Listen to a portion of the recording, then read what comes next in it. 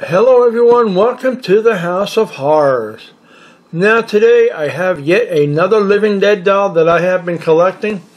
I think I got probably close to 13 or 14 of them so far. And this one here is based off of the 1994 Brandon uh, Lee The Crow movie that came out in 1994. Well this is the Living Dead doll version of it. And what we're going to do is we're going to take it out of its box and we're going to talk about it and the articulation and show you what it looks like up close and personal. But in the meantime, let's just go ahead and check out the box art. Now keep in mind, this box is probably a little over, maybe 15 inches tall, okay? So to get it in the full size of the camera view would be impossible unless I go all the way straight back with this. And that kind of defeats its purpose. So I'll be showing you the box art and turn around showing you from the side and stuff because of the size of the box. And then eventually I'll shut this down, pull the actual figure out of its uh, box, and then we'll talk about the figure in itself, okay? So let's just go ahead, as you can see in the plastic here. Uh, some say he's a little girlish in the way he put they applied the makeup and the facial features. Uh, but I think it looks okay for the most part, in my opinion, okay? So, but you'll see it up close and personal once I pull it out of the box. But in the meantime, let's look at the box art here. Okay, and that is LDD Presents The Crow.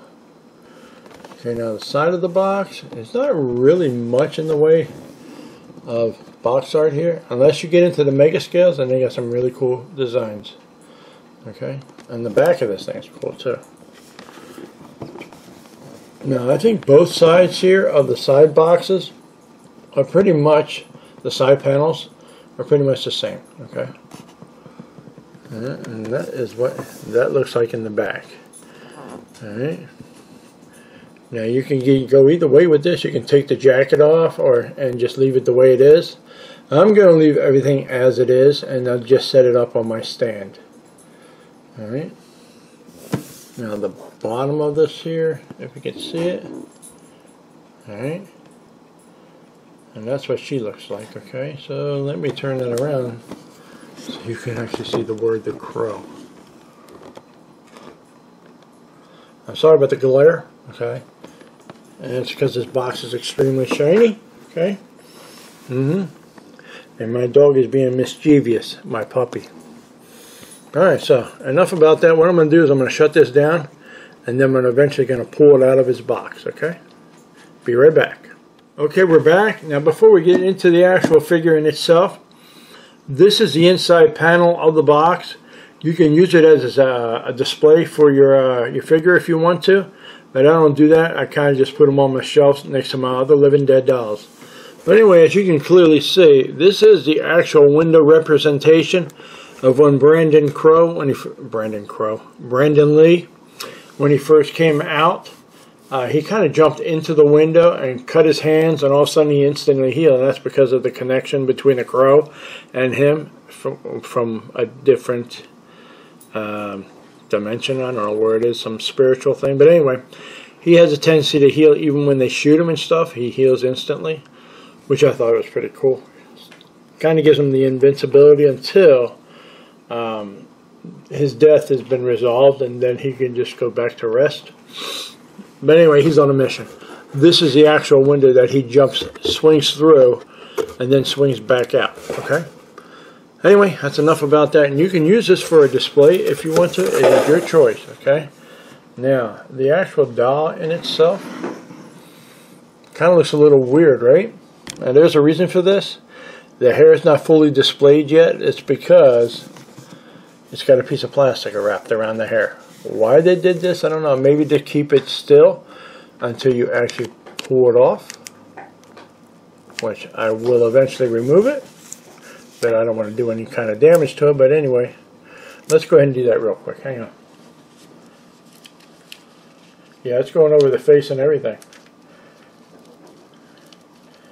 Yeah, you got to carefully pull this off. There we go. All right, now there he is. Okay, the plastic's off his hair, but what we're going to do is we're going to kind of fluff him out a little bit.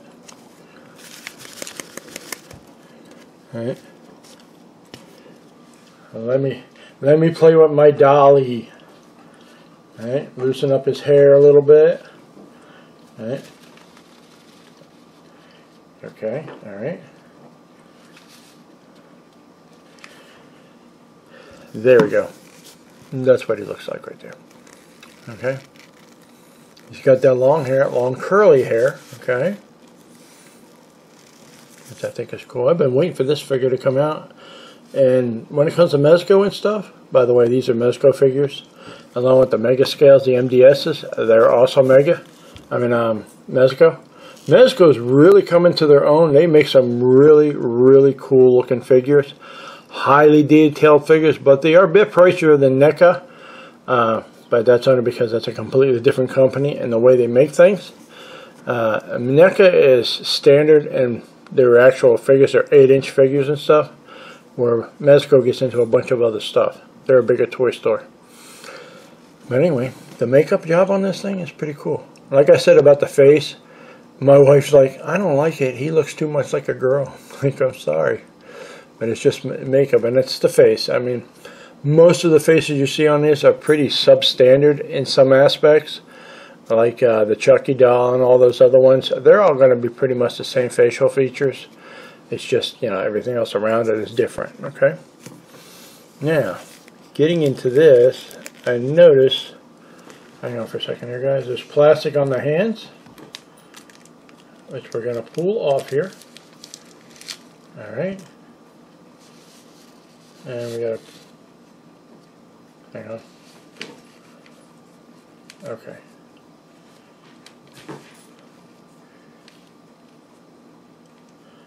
I'll be right back. I got to fix this up a little bit. Okay, we're back. I had to do some readjusting on the actual uh, figure in itself. It has like a leather suit underneath this uh, jacket and stuff. And the actual hands in themselves, as you can clearly see here, have some kind of like um, I don't know, like a wire mesh or something around, right? like tape. I think he kind of taped his hands up in the movie, but that's what these are for. And they had little plastic uh, sleeves on it, so I had to pull them off. And when I did, it kind of pulled the actual leather um, sleeve over its hands, so I had to readjust it and put it back in its place the way it is. Same thing with this side too. So keep that in mind. Okay, now this has got the trench trench coat on it as you can see right here okay? Like I said I'm going to leave the trench coat on here okay? Right now it's not really bright in here so really can't see what's going on. But anyway I did readjust the hair a little bit too. Mm -hmm. so he looks a little bit more like the crow like Brandon Lee okay? But it's a living dead doll version of Brandon Lee's uh, character okay? Right uh, this here has, according to the legs, it's not made of any kind of wire, but it's like a string. But it's supposed to technically represent wire, according to the way his um, outfit is. I think it happens on this side too. Mm, no, not really, okay. But you can see right up here. Okay, he's got the wiring here, or whatever it is that they uh, actually dressed it up with. Mm -hmm. And you can see that. Now you can take the jacket off and, you know, you don't need to actually leave the jacket on. The articulation on these figures are like any other figures. They move at the actual socket of the shoulder. Uh, the elbows do not bend, but it does move at the hands here. And it's a little tight, so keep that in mind, okay? Same thing with the other side, okay? Alright, yeah, so they're tight. The head, okay? Is on a ball joint so you can shift it like so or just like that which would be cool. You can kind of pose it any way you see fit. Give you a close up of the eyes. That's cool looking. In my opinion that's cool looking. Okay. I'm gonna play with my dolly. Okay the actual suit in itself I'm not gonna take the jacket off so I'm just gonna show you what it looks like inside a little bit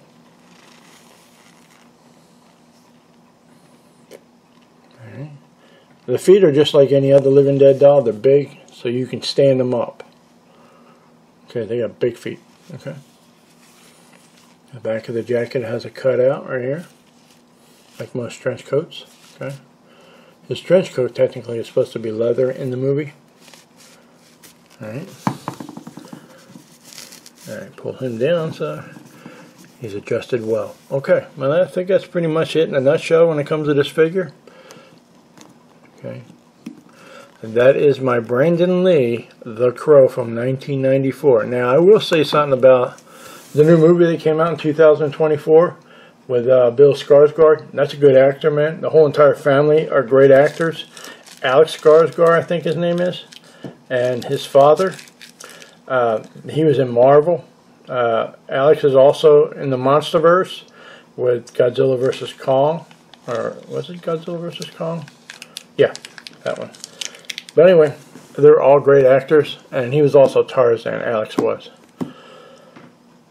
Uh, Bill Skarsgård was Pennywise in the It movies, and he's coming out with the third installment of the It movie, which is a prequel, so I guess that's his origin or something. We're going to see what they do with that. Uh, he was in that too as well. And he was also in this new movie.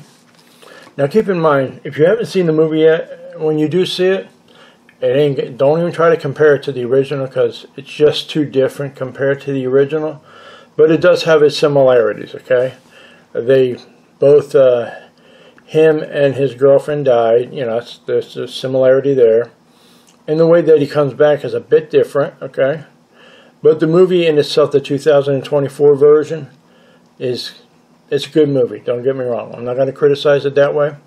But I am going to say it's not as good as the original in my opinion. But Brandon Lee, he did a fantastic job. And there's technically nobody who can do a better job with the Crow character than the way he portrayed it. Okay. Now the second movie um, of The Crow, I think it's called City of Angels, had something Perez.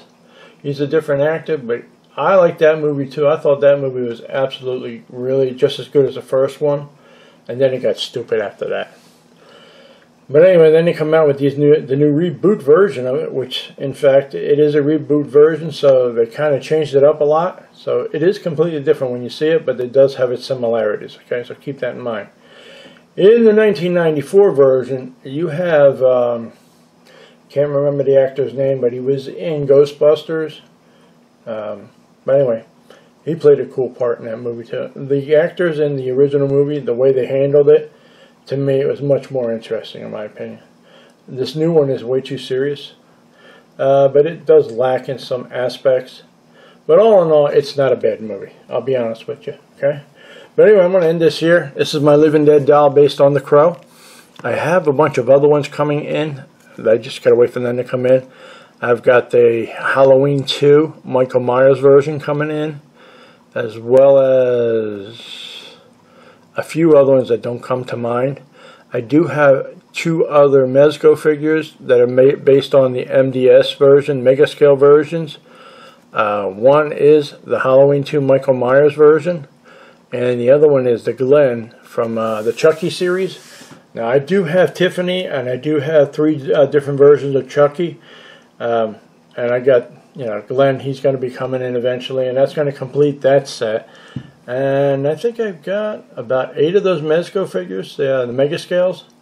I was only going to get one, and I started with the uh, the Bride of Chucky, with his scars and all that stuff, because he fell into the fan and got ripped apart. Uh, I was going to stop there, but I said, nope, I like these things too damn much, so I got all kinds, okay? But anyway, let me end this here. Hope you guys enjoyed this. Don't forget to like and subscribe and hit that notification bell. And Brandon Lee, we'll see you real soon.